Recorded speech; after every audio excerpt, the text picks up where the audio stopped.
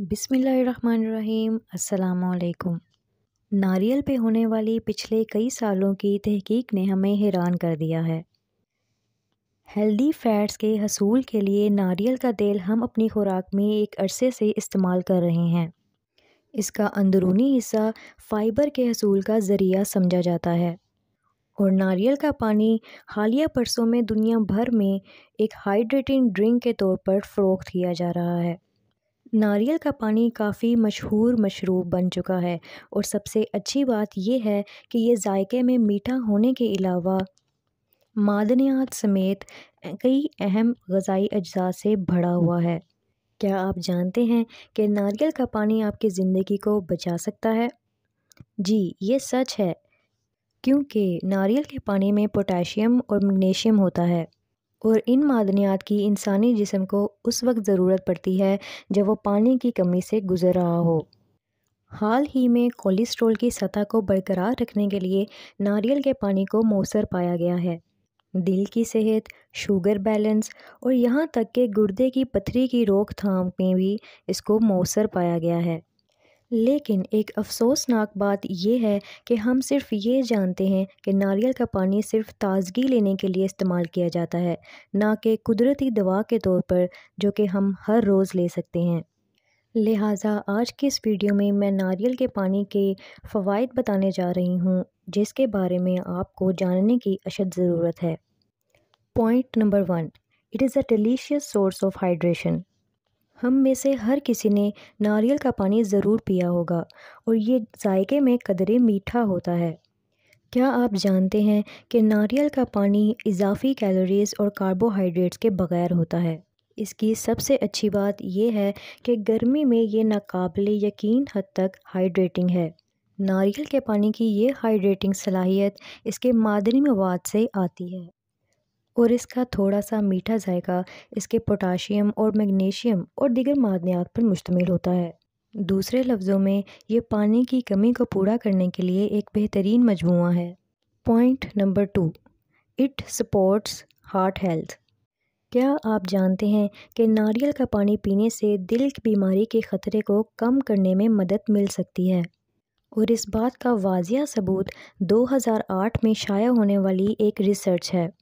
जिसमें रैट्स को चर्बी और कोलेस्ट्रॉल से भरपूर खुराक दी गई।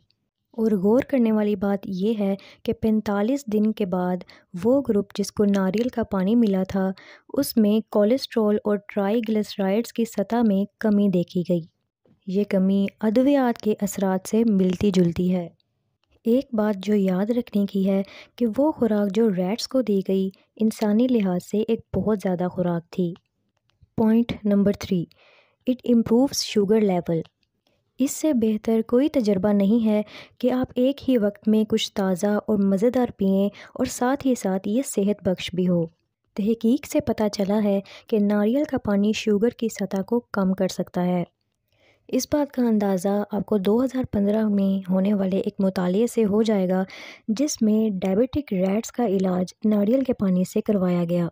और इन रैट्स ने ब्लड शुगर की एक बेहतरीन सतह को बरकरार रखा।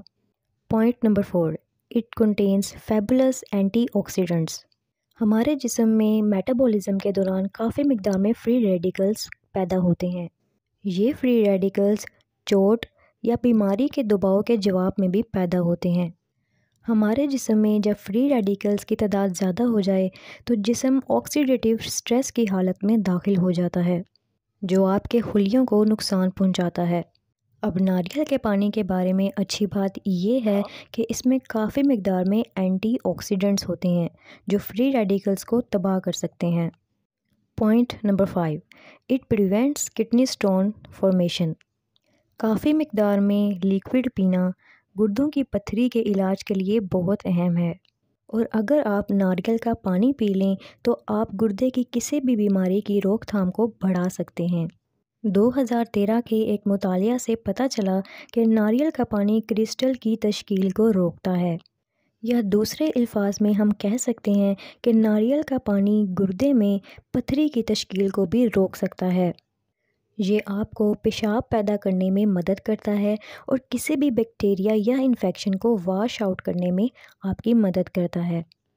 Point number six it is an excellent source of nutrients नारियल का पानी गज़ाई अज्जा के तौर पर शानदार है।